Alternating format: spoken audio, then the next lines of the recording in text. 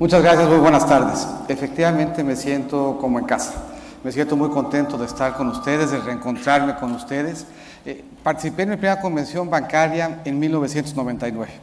Busqué la fotografía y me permite hoy acreditar que ciertamente no es lo mismo los tres mosqueteros que 20 años después. Lo digo naturalmente por Vicente Corta, que ahí está en la fotografía. Yo me veo exactamente igual que hace 20 años. Me mandaron cinco preguntas e hice un esfuerzo por contestarlas para que conocieran ustedes mi visión, visión que además hemos venido construyendo juntos desde hace 20 años. Hago solamente un paréntesis antes de empezar. Esa convención, la de 1999, fue la primera que se dio después de que se aprobó una ley que permitió la participación extranjera en la banca mexicana. Cuando uno piensa lo que ha cambiado el sistema financiero en estos 20 años, hubiera sido prácticamente imposible de imaginar. En esa convención se anunciaba que Vancomer iba a comprar BBVA. Al poco tiempo se anunció que Santander iba a comprar Serfín. Y si revisamos cómo es el sistema financiero hoy, no lo hubiéramos podido reconocer respecto de los temas que se discutían hace apenas 20 años. Y yo he sido un privilegiado de formar parte de esa transformación y de haber en ello hecho equipo con muchos de los que están aquí hoy y se los agradezco. La siguiente. La siguiente. Se dice mucho en la siguiente, que es importante el Estado de Derecho y se dice mucho que es importante la certidumbre. No hay manera de que uno niegue las raíces hacendarias y no hay manera de que uno haga presentaciones muy distintas. Revisé ayer la de Pepe Toño, que fue espléndida, me di cuenta que venía el mismo gusano en su presentación que en la mía. Debo, en mi defensa, de decir que yo usé el gusano primero y por eso me siento legitimado de volverlo a hacer Primer elemento que se planteaba en las preguntas, ¿qué esperamos de la política económica? Hace un año, justamente en este foro, había grandes dudas de qué iba a pasar con la economía en México. Hace un año, tres calificadoras nos tenían en perspectiva negativa. No se esperaba que fuéramos capaces de alcanzar un superávit. Se pensaba que la deuda como porcentaje del PIB iba a seguir cayendo y que íbamos a crecer bastante menos de lo que tenía el paquete económico. Un año después, hoy podemos dar cuenta de que se alcanzó el superávit, de que bajó la deuda, de que nos subieron la calificación y de que crecimos 50% más de lo que entonces se pensaba. ¿Qué tendríamos que comprometer hacia adelante y por qué tendríamos que hacerlo? En medio tenemos un entorno de gran incertidumbre y tenemos la necesidad en consecuencia de recuperar el espacio fiscal. ¿Qué debíamos esperar hacia adelante en materia de balance primario? Dijimos que lo íbamos a alcanzar, alcanzamos el balance primario y vamos por delante de los países del G20 y los latinoamericanos en recuperar espacio fiscal y hay que hacerlo porque podíamos enfrentar turbulencias hacia adelante. Lo mismo es cierto en materia de la deuda como porcentaje del PIB. Dijimos que lo íbamos a reducir, por primera vez en una década se logró y debiéramos de perseverar en esa ruta. No es difícil que enfrentemos un entorno en donde las tasas de interés de los países emergentes vuelvan a subir. Y eso nos planteará retos de estabilidad y nos obligará a tener espacio fiscal y colchones para poderlos enfrentar. Y enfrentarlos de forma tal que podamos seguir creciendo. Ahí se ven 32 trimestres de crecimiento positivo y debemos de aspirar a mantenerlo, a incrementarlo y que el crecimiento siga siendo robusto, balanceado y incluyente, la que sigue. ¿Qué quiere decir y por qué es importante el Estado de Derecho? El mundo en 1910, México arriba de Venezuela, en términos generales, baja esperanza de vida y poco nivel de ingreso y podemos ver cómo vamos evolucionando.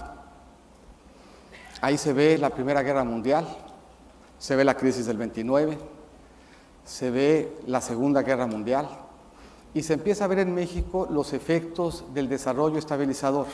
Ahí se ve en China, India, se ve cómo nos empiezan a alcanzar la crisis de 82, la crisis de 95, la recesión del 2000, la crisis de 2008 y ahí estamos hoy parados. Y lo que vemos es una enorme dispersión en términos de esperanza de vida y de PIB per cápita. Y lo que vemos es que hay una correlación entre esa dispersión y el Estado de Derecho. Los países que tienen un mejor índice de Estado de Derecho tienen más esperanza de vida y mayores ingresos.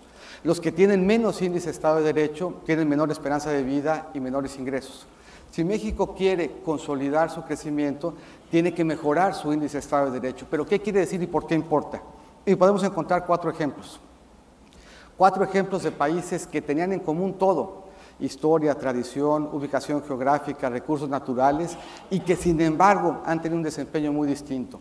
Corea del Norte y Corea del Sur, la misma península, la misma historia, la misma genética, 10 años menos de esperanza de vida en Corea del Norte y órdenes de magnitud menos incluso en medida y talla. Vietnam del Sur y Vietnam del Norte, mientras estuvieron separados, Vietnam del Sur crecía al doble de lo que crecía Vietnam del Norte. Alemania Oriental y Alemania Occidental. Uno podría haber asumido que Alemania Oriental tenía mejores condiciones, más educación y más salud. Y sin embargo, después de la caída del muro de Berlín, Alemania Oriental incrementó en tan solo seis años el 83% de sus niveles salariales. Finalmente, la zona bolivariana. Compartíamos los mismos libertadores, la misma historia, las mismas ambiciones. Y sin embargo, si nos comparamos con 1977, hoy Venezuela tiene 20% menos ingreso per cápita que el que tenía entonces. Panamá 200% más. La región y México 65% más. Estos cuatro ejemplos ilustran que países que eran iguales en todo, menos en su Estado de Derecho, tuvieron resultados de crecimiento muy diferentes. ¿Qué quiere decir Estado de Derecho en México? Quiere decir sí, y habremos de abundarlo, seguridad y corrupción. Pero quiere decir que construyamos un país que tenga un gobierno a la medida de cada quien y en donde podamos ejercer a plenitud nuestros derechos. ¿Cuáles? Sí seguridad, sí corrupción, habremos de tocarlo, pero la Constitución consagra varios derechos más. Y debiera uno en consecuencia de poderla cargar en el teléfono. Si además lleva uno la foto de Juana, todavía mejor.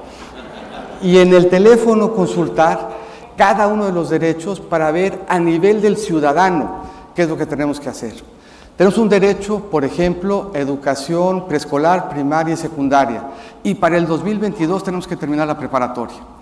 ¿Qué tenemos que hacer para que ese derecho se ejerza? La mayor parte de quienes no acceden a educación preescolar tenían a la mano guarderías y estancias, no instalaciones de preescolar. Había que convertir a la guardería y a la estancia para que además de cuidado y alimentación dieran educación. ¿Qué otros derechos vienen consagrados en la Constitución que implicaría un ejercicio similar? sorprendente, pero importante, y nos regresa a la primera pregunta, hay la obligación constitucional de velar por la estabilidad de las finanzas públicas y del sistema financiero. Estado de Derecho, en consecuencia, implica un manejo de finanzas públicas responsable que permita condiciones de crecimiento. No queremos estabilidad por sí mismo, la queremos porque la estabilidad nos da confianza, la confianza trae inversión, la inversión trae empleo y el empleo nos ayuda a combatir la pobreza. ¿Qué otro elemento es central en el Estado de Derecho? Dice Juana que voy muy bien y tiene razón. Siempre hay que atender a lo que dice Juan. Por cierto, Juana me acompañaba a muy poquitos eventos, pero por 20 años me ha acompañado a la convención bancaria y se lo agradezco.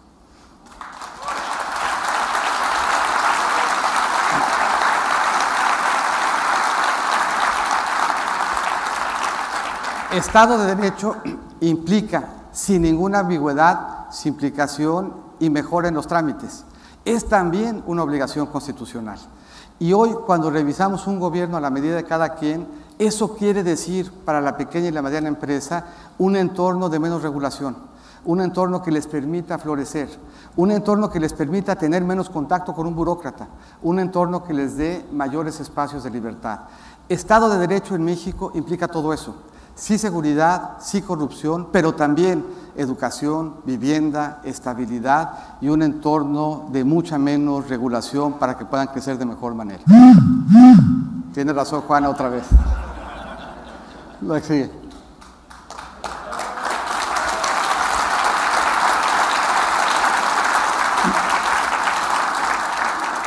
Contratos. A la Secretaría de Hacienda y a la Secretaría de Relaciones y al presidente le toca cuidar buen nombre y buen crédito. Buen nombre y buen crédito pasa porque se tenga certeza en México. Y ahí encontramos contrastes importantes entre las tres alternativas que van ustedes a escuchar hoy. En los elementos centrales, en la pregunta que nos hicieron, hay tres visiones diferentes. En materia, por ejemplo, de la reforma energética, hay quien plantea echarla para atrás. Hay quien no sabemos qué plantea, porque la mitad de la coalición está a favor y la otra mitad está en contra. Y nosotros pensamos que esa reforma le va a cambiar el rostro al país. Hay quien piensa que hay que echar para atrás el aeropuerto. En el otro caso no sabemos, porque uno está en favor y otro está en contra. Y hay quienes pensamos que el aeropuerto es fundamental para la competitividad del país y la reconversión del viejo aeropuerto para la reinvención de la ciudad. En materia presupuestal, hay quien plantea una política de gastos que no se colige con la realidad presupuestal. Y hay quien plantea una reforma fiscal más progresiva en la mitad de la alianza y menos progresiva en el otro. Y hay en cambio que frente a ustedes compromete finanzas públicas sanas y responsables. En materia educativa, hay que plantear echar la reforma para atrás. Hay quien no sabemos qué plantea porque la mitad de la coalición está a favor y la mitad está en contra.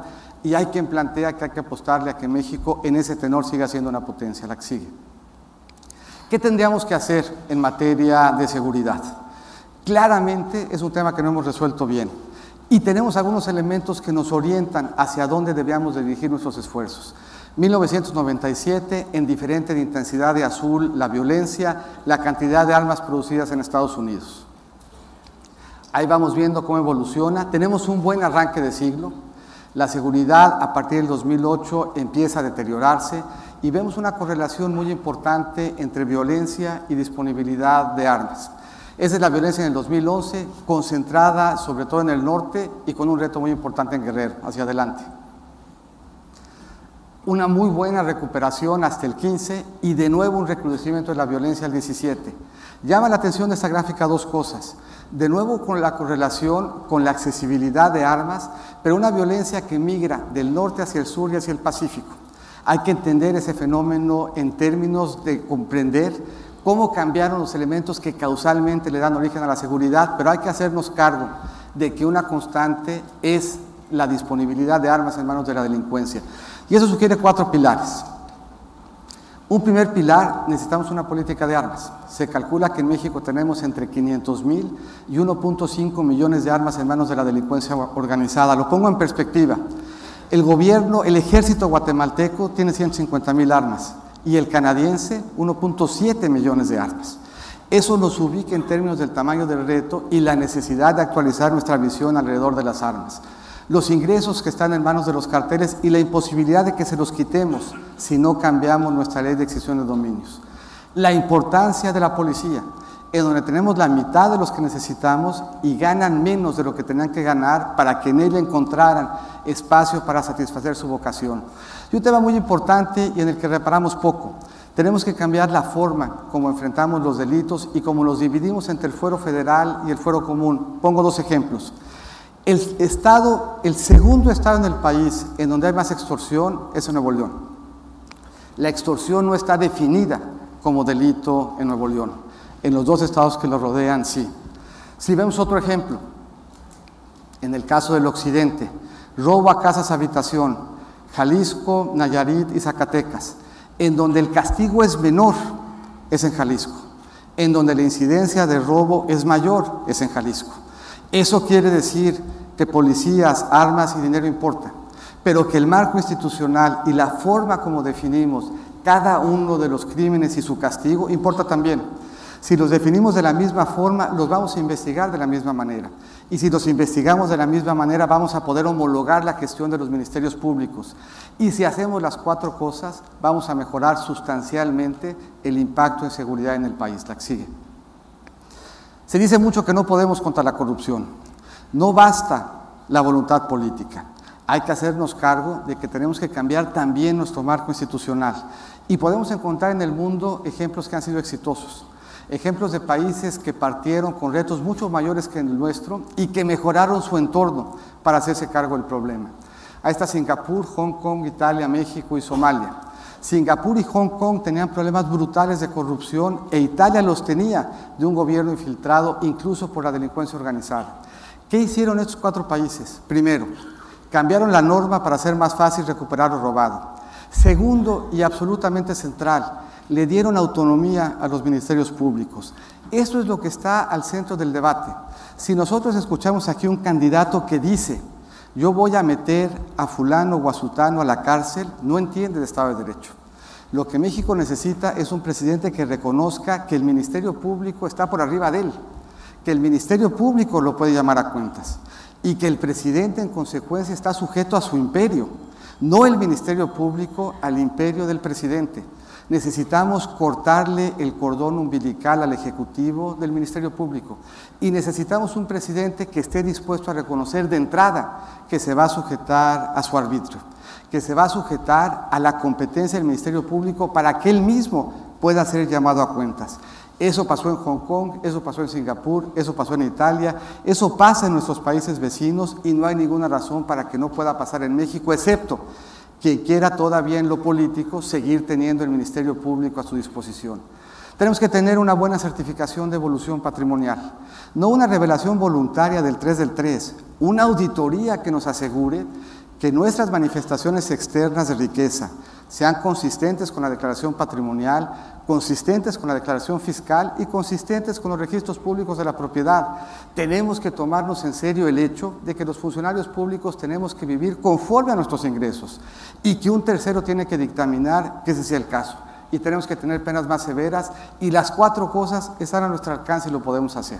Pepe, el 95% de los compatriotas en algunas regiones del país tiene miedo de salir a la calle y el, digamos, promedio nacional es 75%. No podemos seguir viviendo así. Totalmente de acuerdo. Y, me parece que cuando habla uno de Estado de Derecho, el primer tema es el de salvaguardar la integridad de la persona, su integridad física y su integridad patrimonial.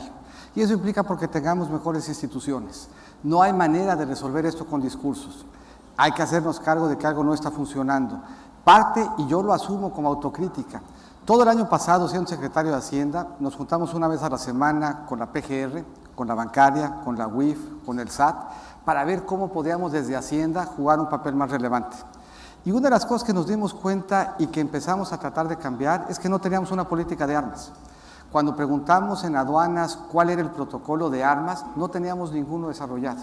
Eso quiere decir que nos preocupábamos más por lo que salía del país que por lo que entraba. Y cuando vemos el tema de la violencia, todos los estudios serios apuntan a que las armas son un tema. La forma como se comercian las drogas y la forma como se comercian las armas es distinta. El comercio de drogas tiende a ser en camiones de carga y tenemos tecnología no intrusiva para supervisarlos. El comercio de armas tiende a hacerse en vehículos privados y no teníamos esa tecnología. Desarrollamos la tecnología y le pusimos un nombre al primer programa piloto en materia de armas absolutamente aspiracional se llamaba aduanas impenetrables. Si tenemos un millón y medio de armas en el país, impenetrables, impenetrables, no queda muy claro que fueran, pero esa había de ser la ambición. Uno, dos. En México la extinción de dominios es consecuencia de un proceso de responsabilidad penal. Eso quiere decir que para poder quitarle yo su patrimonio a la delincuencia organizada, tengo que acreditar de quién es. Tengo que acreditar que fue resultado del delito que le estoy imputando y tengo que acreditar que él fue responsable de cometerlo. En todas partes del mundo la extinción de dominio funciona al revés. Parto el proceso en dos y lo primero que hago es que el delincuente que no puede explicar el origen del recurso lo pierde. Después sigo el proceso de responsabilidad penal. El otro elemento central, y no hay manera de darle la vuelta, y debiéramos de estar profundamente agradecidos con las Fuerzas Armadas, que han venido jugando un papel complementario que no les corresponde y que nos han permitido, nos han dado tiempo para fortalecer la propia presencia policíaca, pero tenemos que hacerlo. Si no tenemos ni el número, ni le dedicamos los recursos a la construcción de una policía que nos dé confianza, no va a haber manera que recuperemos seguridad. Pero el último punto que hacía yo es igualmente relevante. Si tenemos policías, pero no pueden hablarse con el vecino, el problema que enfrenta el gobernador Astudillo es que si se comete el delito en Michoacán, o se comete en el Estado de México, o se comete en el Estado de Morelos, pues la posibilidad que la policía y el Ministerio Público en Guerrero le dé seguimiento es bajísima. De la misma manera, si se comete el delito en Guerrero, la posibilidad de que se le dé seguimiento en los estados que son vecinos es bajísima y no por falta de voluntad, porque no se definen los delitos igual. Si uno revisa la geografía de Guerrero, los mayores retos que enfrenta el Estado están en esas fronteras están en las fronteras con sus estados vecinos y están en esas fronteras porque los delincuentes saben que si bien hay fronteras en la forma como definimos la ley, ellos pueden actuar impunemente a través de cualquiera de ellas. Si tenemos muy buenos policías, pero no definimos extorsión en Nuevo León, no vamos a poder combatir la extorsión en Nuevo León. Si tenemos muy buenos policías, pero castigamos el robo de automóvil diferente en cada uno de los distintos censados, no vamos a lograr, no importa cuántos recursos le metamos, ministerios públicos estandarizados que homologuen sus procedimientos de investigación. Ahora, esto se ha hecho en el mundo, sí, lo podemos hacer nosotros también y podemos dar resultados que mejoren la seguridad también haciéndonos cargo de que lo que hemos hecho hasta ahorita, por falta de darle al Estado y a los Estados esos instrumentos, ha resultado insuficiente somos una república federal que han tendido a centralizarse, ¿no? desde el pago a los maestros, el tema de la transparencia, por supuesto, el tema de la recaudación, decir, a ver, nosotros recaudamos y después nos replanteamos cómo se distribuyen las cargas entre los niveles de gobierno. Pero si hay algo, Pepe, que ha hecho crisis, es la seguridad pública. Es decir, tú lo que no puedes es desde la presidencia de la República, con 40 mil policías federales y el ejército, estar enfrentando la grave crisis de seguridad que tiene el país.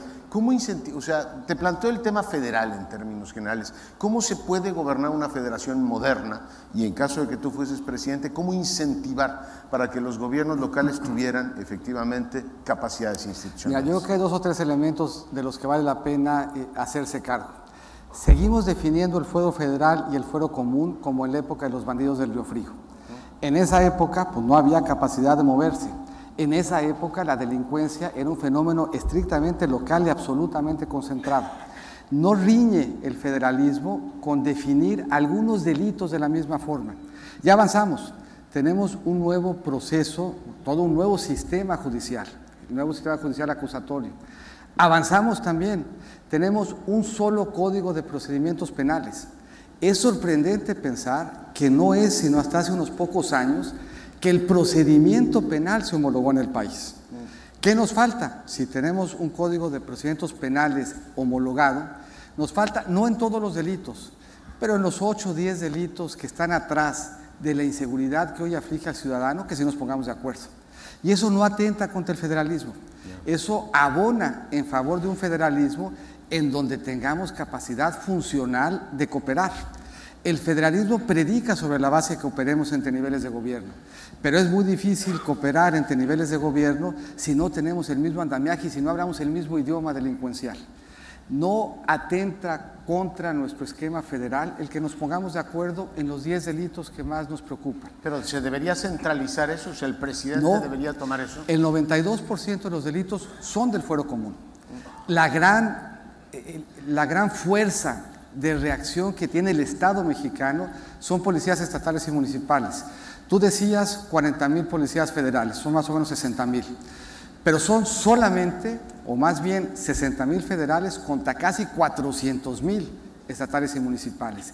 El grueso de la delincuencia y el grueso de la capacidad de respuesta está en estados y municipios. Ahora, Ahí hay que dedicarle más recursos presupuestal, más capacitación, mejores sueldos, pero vuelvo a insistir, la forma como decidimos a quién le toca investigar el delito no debiera ser dónde se cometió, sino cómo se cometió.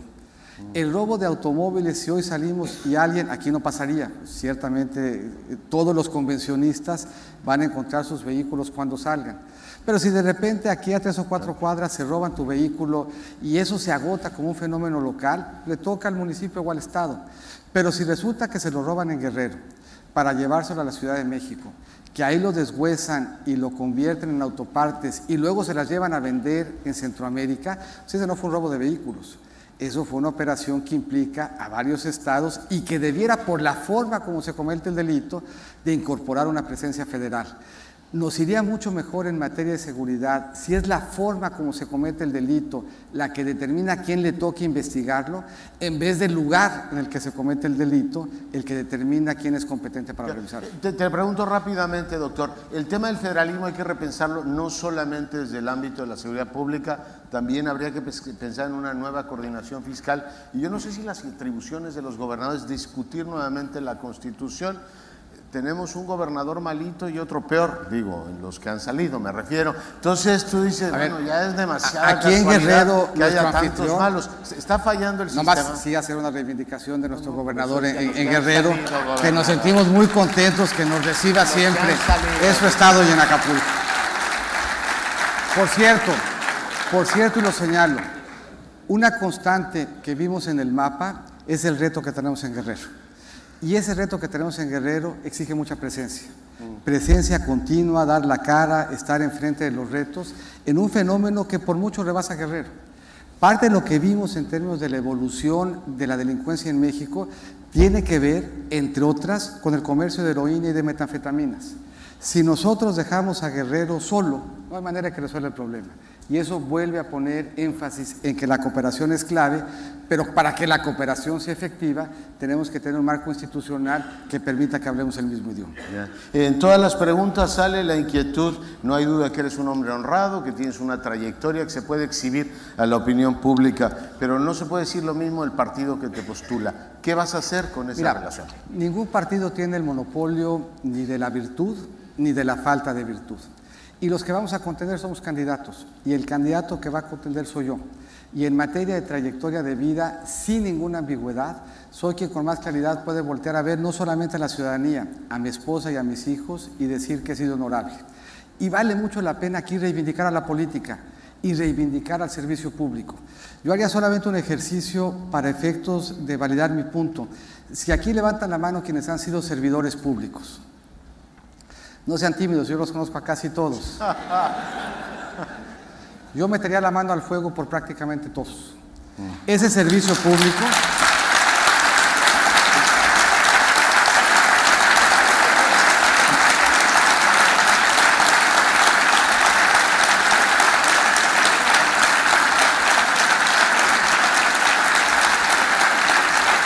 Y la verdad, es que después de ese aplauso, ya no diría prácticamente, yo metería las manos al fuego por todos. Ese servicio público es un servicio público honorable. Es un servicio público que además, con sacrificio de patrimonio, tiempo y familias, le dedicó al país muchos años para que el país fuera mejor. Ese servicio público es el que nos pide a nosotros ser implacables en el combate a la corrupción. Ese servicio público es el que está en primer lugar ofendido, enojado, molesto por los servidores públicos corruptos que han manchado un ejercicio y una forma honesta de vivir. Ese servicio público es el primero que reclama, que me reclama y que me pide que el combate a la corrupción sea central en esa administración. Y ese servicio público puede dar fe de que en mi actuar no solamente ha sido regla, sino que lo que aquí estoy planteando es lo que ellos mismos reclaman y piden un servicio público que esté o en el que nadie esté por arriba de la ley. Y la forma más gráfica de expresarlo es un servicio público que esté dispuesto a pararse aquí y decir, yo no soy el que voy a meter a la cárcel, sino más bien decir, yo estoy dispuesto a que si fallo, me metan a la cárcel a mí. El fiscal, el fiscal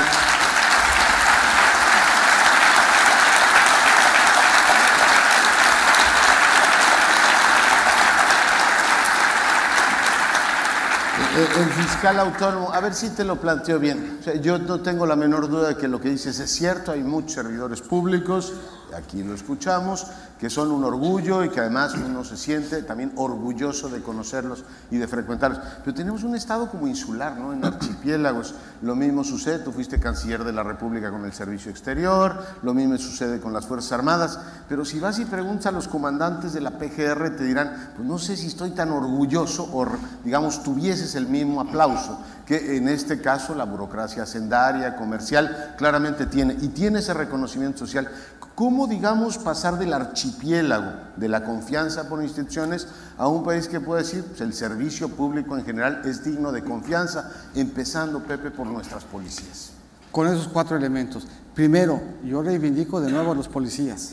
Se ponen en riesgo todos los días y reivindico a las Fuerzas Armadas, sin cuyo compromiso valiente el reto de seguridad sería infinitamente superior. Pero los cuatro elementos son centrales e implican que acompañemos la voluntad de las modificaciones. Hoy el ciudadano está sujeto a ese escrutinio.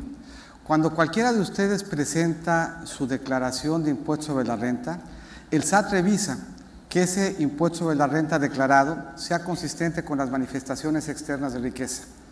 Y si tienes un gasto mayor que tu ingreso, el SAT, con todo comedimiento, con un trato excepcional, te manda una carta generosa de, mucha empatía y te dice, oye compañero, pues dices que ganas 20 y gastas 100, pues me debes los impuestos del 80 que no gastaste. Ahora, si eso facultamos al SAT para hacer al ciudadano, ¿por qué no se lo pedimos al político? con una ventaja, a mí me lo han hecho 20 años. Y lo que han encontrado es que Juana, que es la que maneja las finanzas públicas en el hogar, con un control mucho más férreo que el que tenía Cordero en la Secretaría de Hacienda, siempre se ha asegurado de que nuestro nivel de gasto sea menor a nuestro nivel de ingreso. hay que tomarlo en serio. Uno, dos, a quien no lo tome en serio hay que quitarle los bienes. Tres, todos los servidores públicos tendrían que saber que ninguno está por arriba de la ley. Si hoy tenemos dudas, pues tendríamos que quitarnoslas. Esos tres elementos son los institucionales. En el caso de Hong Kong, el lema de los bomberos en Hong Kong en los 70 era, sin dinero no hay agua. Eso quería decir que si se te estaba incendiando la casa y llegaba el bombero, le tenías que dar una lana para que prendiera la manguera. Y hoy en Hong Kong cualquier servidor público tendría mucho cuidado de estar involucrado en un proceso de corrupción. Lo mismo era cierto en Singapur. Singapur no tenía Estado de Derecho cuando se separa de Malasia. Y hoy es un ejemplo. ¿Por qué no podríamos hacer nosotros lo mismo? Es estrictamente un tema institucional. Ahora, implica asumirlo como un tema institucional. Si nosotros pensamos que es un tema político, si pensamos que es un tema de discurso, si pensamos que es problema y atribución del presidente, ya nos equivocamos. Tendríamos que estar ciertos de que el presidente, en primer lugar, tendría que someterse a ese marco de leyes y estar dispuesto a ser revisado, auditado y en su caso procesado con un elemento. Yo hoy estoy en la Asociación de Bancos de México 90 y quiero después de ser presidente regresar a la 96 y a la 97, por lo que estoy seguro que no voy a equivocar.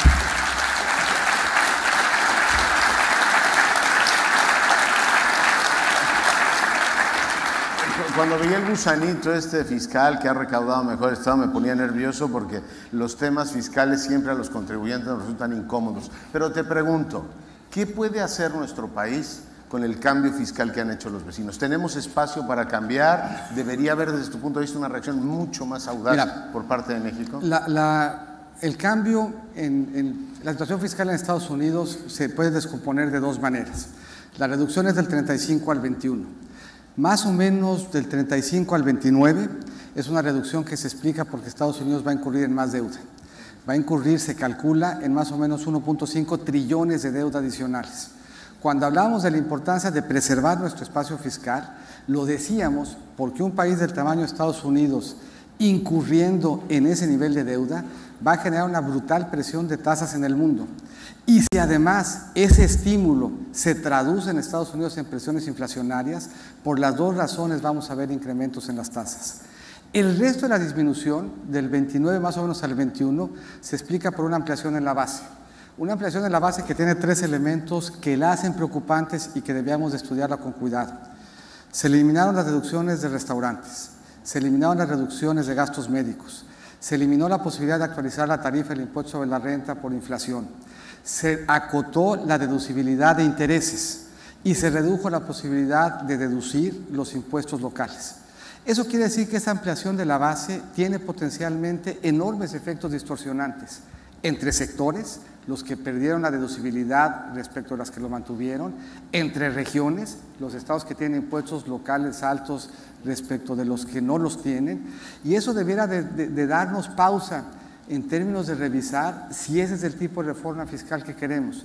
Con un elemento adicional, cuando consideramos que la ampliación de la base los ubica más o menos en el 28-29, ahí estamos nosotros, con un cambio trascendente que se dio por primera vez en 10 años. Este año se va a actualizar la tarifa del impuesto sobre la renta por la inflación acumulada desde la última vez que se actualizó. Es una actualización del 16%. Va a implicar un sacrificio fiscal de 40 mil millones. Si no hubiéramos hecho la actualización, se podría haber bajado la tasa del 30 al 28. Eso quiere decir que el alivio fiscal que este año van a enfrentar las empresas y las personas hubiese equivalido a una tasa casi dos puntos menor del impuesto sobre la renta, por lo que no perdemos competitividad respecto a Estados Unidos, lo que no quiere decir que no tengamos que estar atentos de que esa reforma, que no tiene un impacto México específico, no vaya a implicar reacciones de México y del resto del mundo en una agenda fiscal que permanentemente es inacabada. Doctor Mid, la pausa esta que nos pusieron en los aranceles del acero, ¿te parece, tú fuiste también canciller de la República, una ventana de oportunidad o una espada de Damocles? Mira, me parece que la negociación se ha conducido bien. Y me parece que eso nos trae a un punto bien relevante.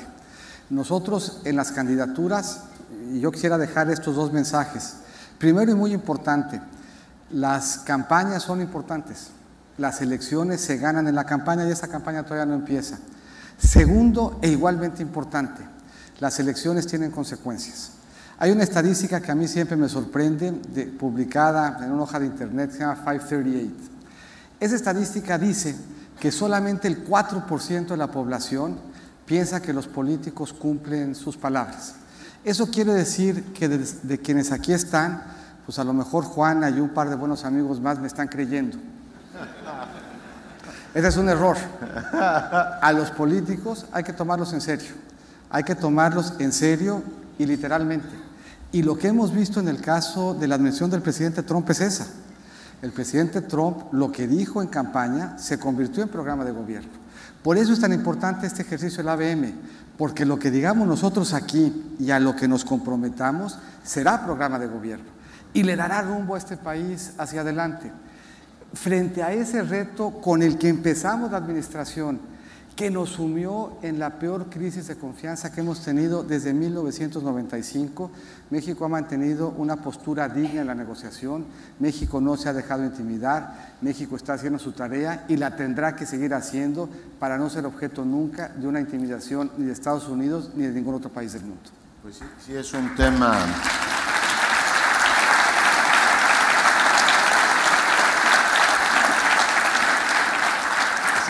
sí, es un tema de absoluta actualidad. El tema del Sistema Nacional Anticorrupción. ¿Tú crees que, ya hablaste del fiscal en términos generales, un fiscal anticorrupción independiente, autónomo, es también la solución para este país? Sin duda. el Ministerio Público Autónomo es clave. La autonomía del Ministerio Público debiera ser sagrada. Y la vemos en todas partes del mundo. Nadie le pregunta hoy a Trump sobre una investigación criminal, le preguntan a Mueller. Nadie le preguntaba a Clinton, le preguntaban a Kenneth Starr. Nadie le preguntaba a Andriotti, le preguntaban a Falcone.